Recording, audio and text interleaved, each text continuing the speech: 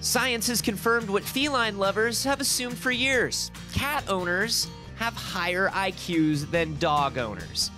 No, the study wasn't funded by Fancy Feast or known cat lover Taylor Swift. A researcher at Carroll University administered personality and IQ tests to 600 students to determine the differences between the two groups. But don't adopt a kitten to smarten up just yet.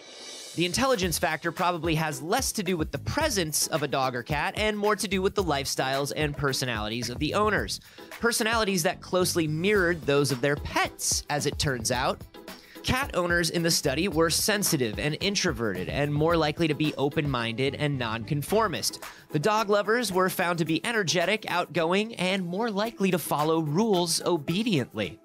Researchers explain that perhaps dog people were more likely to be outside, talking to people, bringing along their adorable pup. Whereas if you're more introverted, maybe you're at home reading or studying for a test.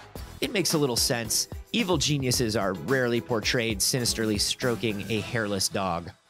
So the stereotypes are confirmed. We wonder if the cats will feel superior after hearing the study's findings about intelligence.